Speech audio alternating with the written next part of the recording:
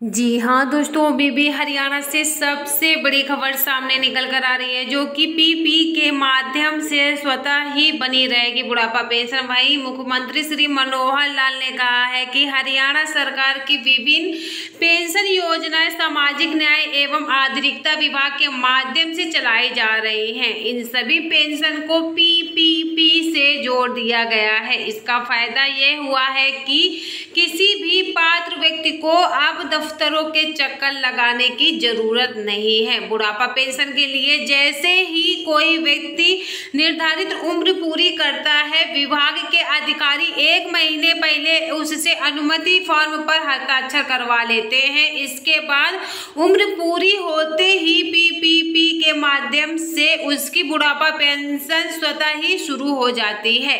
परिवार पहचान पत्र के माध्यम से पिछले चार महीनों में लगभग बारह हज़ार तिरसठ नई पेंशन बनी हुई है।